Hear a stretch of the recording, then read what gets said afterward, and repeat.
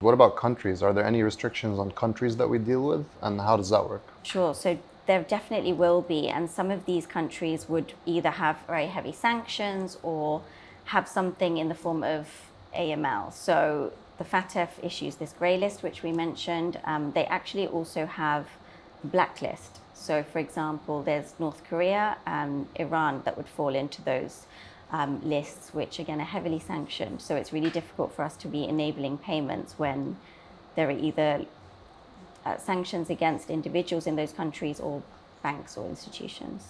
And how often do these kind of lists, I guess they're lists, right? How often do they change?